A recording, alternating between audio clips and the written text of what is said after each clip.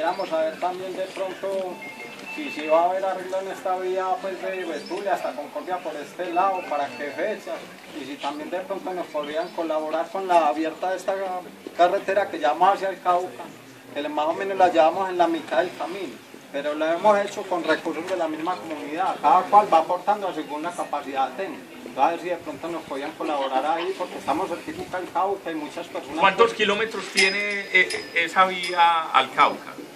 Eso será que, señor alcalde, la verdad pues yo así... Por ahí 14 kilómetros. El promedio de la pica donde va, va, va en 6 kilómetros y medio, 7.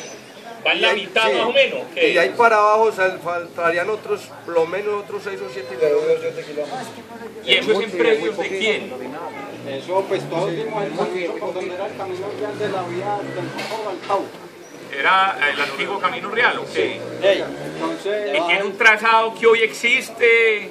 No, entonces, y ahí para abajo no va a ir trazado, sino que después así todos ya damos el permiso ahí para ir construyendo la carretera y como le digo, todos aportamos ahí para irla organizando. Pues en estos momentos, pues usted sabe más o menos la crisis del COVID todo eso, ya la gente no tenemos cómo trabajar, solamente vamos poniendo la mano de obra como para irla manteniendo, ¿me entiende?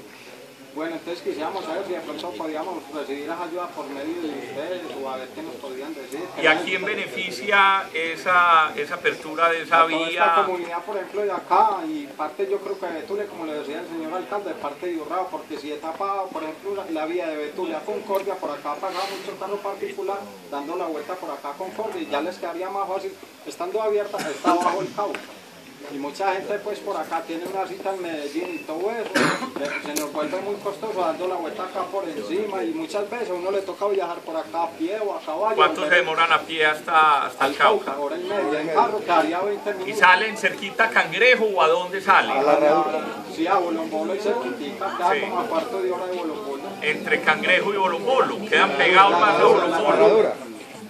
La finca llama la Candelaria, queda en la herradura.